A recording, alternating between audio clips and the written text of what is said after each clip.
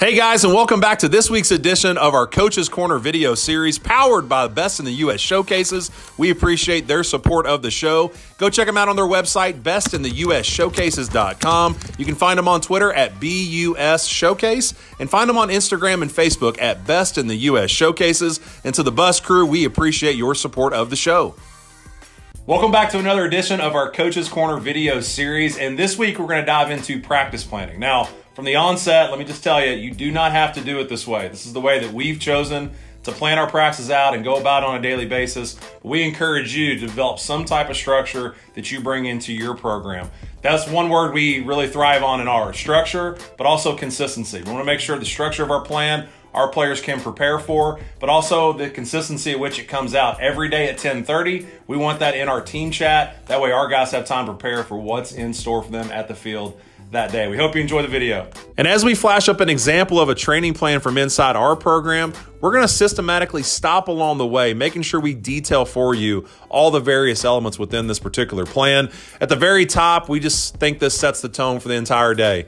The date, the number of practice, the weather that we can plan for that day. What are we wearing? Our team wears the exact same thing as a group each day, whether that's a color shirt, shorts, or practice pants. But also the BP setup and early ground balls lets our guys know what might happen pre-practice or what we need to be prepared for within it. We also put a quote of the day, just something that sets the tone from an attitude or perspective for our guys. We make sure those are set every single day. As we get into the timing within this particular plan, the top part of this really for us never changes. We start every day at 1:30 with a classroom session, whether inside our team classroom, in our athletics building, or down in our third base dugout. We feel like this is one of the most important touch points we have with our players on a daily basis, whether that is communicating the day's practice plan, a guest speaker, a message for the day, or something that allows our team to bond. We feel like classroom is the perfect start for every day. We move from classroom in that 15, 20 minute segment into our mindfulness training spending time slowing down and getting quiet.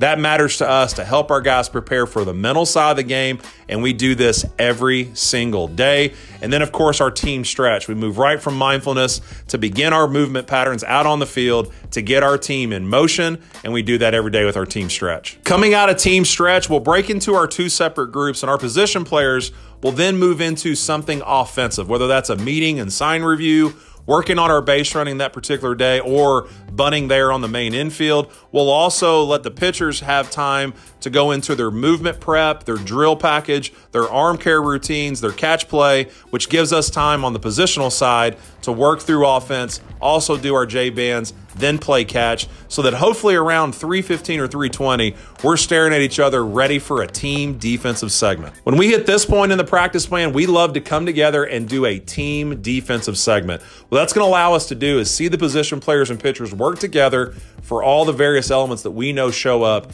in the game. We do a defensive drill series, which we've laid out for you before three different segments of that that get all players involved across the field. We also do our triangle drill at this time, which we outlined a few weeks ago, that gets everyone involved. But it also could be a simple day where our pitchers just need to work on picks with our infielders. We're working on some type of bunt defense, things that allow our group to come together so everyone's on the same page, even if it's for 15 or 20 minutes. We get the entire group together. After this team segment, we split back into our two different groups. Position players will move into their offensive work for that day. The various BP formats that we have for our guys to develop within that have elements of base running, also defensive work, and making sure we're working on our swing and our short game.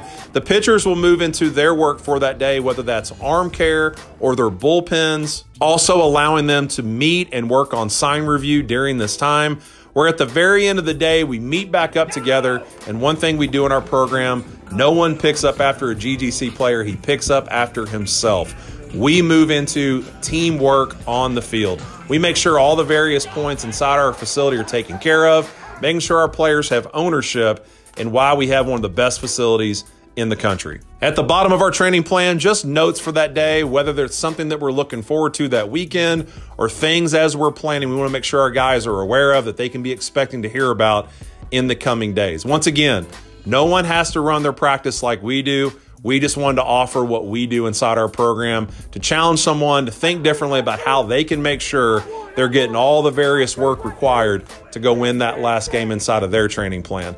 Please reach out if you've got questions. We'll share anything we have with you, various training plan examples, formats that we use, or charts that show up in our program. We want to help. Reach out to us, guys, and we look forward to hearing from you soon. Go check out our friends over at Best in the U.S. Showcases, the premier evaluation and recruiting opportunity for high school players around the country.